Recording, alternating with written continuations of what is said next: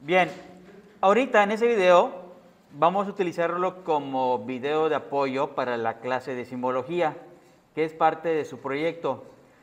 En ese caso, para antes de poder iniciar, recordemos que necesitamos guardar nuestro proyecto, ¿sale?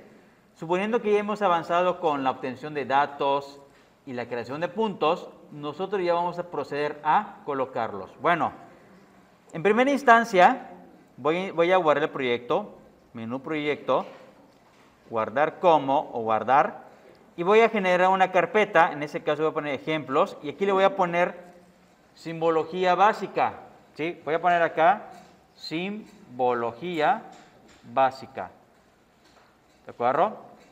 Y, y ahí le voy a poner pues, la fecha de hoy, en ese caso, o símbolos básicos. Listo, ¿de acuerdo? Simbología básica, listo. Ahora, ya que ya guardé mi proyecto, y recuerden no, este, que deben, aparte, deben configurar su sistema de proyección dependiendo de los datos que hayan obtenido. ¿sí? En este caso, vamos a manejar la, el EPSG 4326, ¿de acuerdo? Para poder trabajar. En ese caso, vamos a ir al menú capa, añadir capa, capa vectorial. Recuerden que otra manera de insertar las capas vectoriales es por medio del administrador de fuentes, que está acá, ¿sí? Que es la misma ventana, en ese caso vamos a colocarlos. Y bueno, en ese caso, recuerden que antes de trabajar, como vamos a trabajar con datos externos, y es lo que, es lo que vi que pasó ayer, es que este, en traer su USB, ustedes no guardan su información en una misma carpeta. Entonces, antes de trabajar, voy a cerciorarme de algo, voy a cerrar. ¿sí? Me voy a mi carpeta, donde yo tengo en ese caso aquí en D, SEDMAR, quinto semestre, prácticas y práctica, a no ejemplos, simbología básica. Dese cuenta que ahorita solo tengo el archivo, no tengo datos. Entonces, antes de trabajar, si mi información está en el escritorio, o mis datos que descargué de INEGI, o etcétera, están en descargas, debo pasarlos a esta carpeta. ¿De acuerdo? Entonces, ¿qué hago? Bueno, entonces voy a, voy a preparar mi información. En este caso, la información de aquí en prácticas. A ver, o ejemplos. Aquí está. De hecho, vamos a utilizar la de este, los puntos, lo que descargamos ayer del INEGI. En ese caso voy a copiarlo, clic derecho copiar. ¿Sí? Y aquí lo que estoy haciendo, estoy preparando mi carpeta de información. ¿De acuerdo? Entonces ya tengo acá los puntos de las estaciones eólicas de México. Entonces, ahora sí ya voy a proceder a irme a menú capa, crear capa, perdón, añadir capa vectorial y ya busco, en ese caso, simbología básica, ahora sí, mi información. Recuerden que dado caso que no sepan cuál, cuál seleccionar, en este caso, cuando son varios archivos, se refieren a archivos shape de ESRI. En este caso busco archivos shape de ESRI. Aquí está. Y es el único que me muestra y es el que voy a insertar. Le doy añadir y cerrar. Entonces hasta acá, pues no hay ningún problema, ya se insertaron los puntos. Necesitaríamos acá, recuerden, un mapa base. ¿De acuerdo? Puedo instalar un mapa base vectorial de Natural Air o de cualquier otro lado o incluso utilizar un mapa base ¿sí? de Queen Map Service de tipo raster. ¿De acuerdo? Y ahí está. Bien. Entonces, parte de la simbología básica, recuerden que tanto los raster como eh, los vectoriales, se les puede cambiar la simbología y eso para acceder es con clic derecho sobre la capa, propiedades, en la sección simbología. ¿De acuerdo? Entonces, y aquí algo muy importante de, todo esto es que ustedes pueden poner por categorizado, bueno, símbolo único es que ah, cuando ustedes seleccionan un punto, a todos, va, a todos los puntos va a cambiar sin condiciones. Pero ustedes quieren que cada punto tenga un color diferente, ¿sí? Tenemos que dar clic derecho en la capa, propiedades, y seleccionamos, por ejemplo, por categorizado.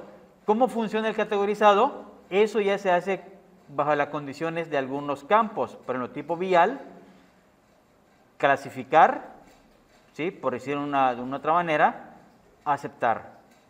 ¿De acuerdo? Entonces, dése cuenta que aquí, ¿qué está haciendo? Ahora, ya cambió los colores ¿sí? de, todas las capas que vemos acá, ya se cambió. En este caso, de todos los puntos de la, de, la capa, ya se cambiaron ¿sí? de colores. Pero, ¿cómo es que lo hizo? Para que ustedes puedan trabajar la simbología, es necesario que ustedes conozcan la tabla de datos o la tabla de atributos de las capas. Entonces, por ejemplo, doy clic derecho, abrir tabla de atributos y aquí me muestra toda la información. Esto es lo que va cambiando. ¿Por qué? Por categorías. Yo seleccioné tipo vial sin querer. Dese cuenta que, por ejemplo, hay prolongación, privada, periférico, carretera. O sea, en este caso puede ver una, dos, tres, cuatro, 5, 6, 7, puede ser que haya 6 categorías, ¿de acuerdo?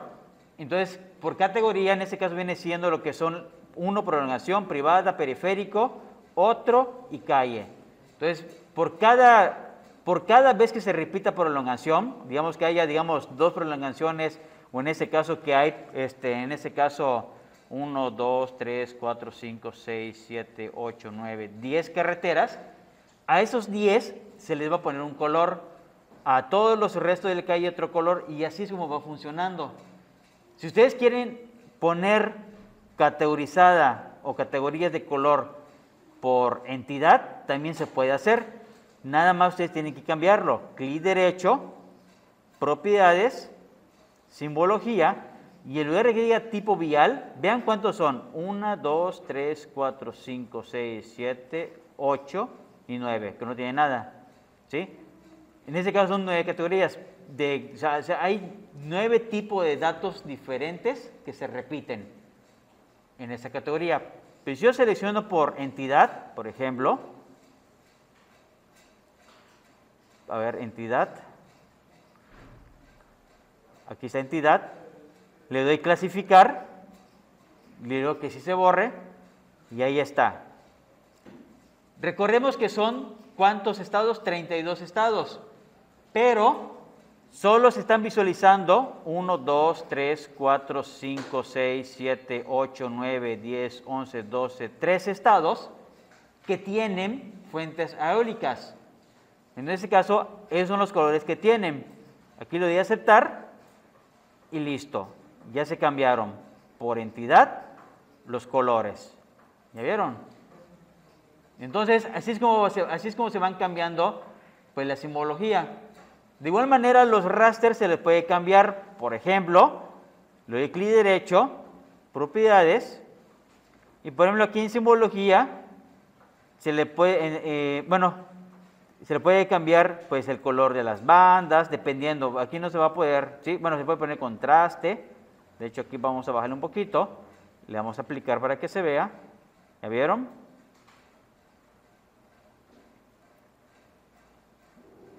Y ahí está. ¿Ya vieron? Ya no se ve tan, tan de color. Por ejemplo. ¿Ya checaron? Se ve, se ve un poquito, hasta un poquito mejor para imprimir en blanco y negro o en color se, se resaltan los puntos. ¿Ya checaron?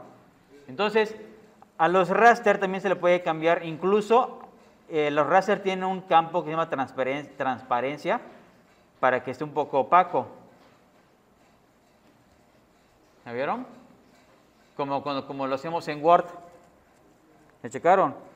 Eso es en, relación a, pues en este caso a, las, a la simbología. Se le pueden hacer otras cosas, por ejemplo los puntos, clic derecho, propiedades. Se le puede cambiar en este caso este, las figuras, pero eso no, eso vamos a en otro video, ¿sale? Acá, por ejemplo, si me gusta este color, lo dan doble clic, por ejemplo, aquí en esta parte, y ya le dije, no, pues no quiero ese, ese color, quiero, por ejemplo, eh, pues este anaranjadito. Por ejemplo, ya le doy a aceptar y ya se cambia, aplicar, aceptar.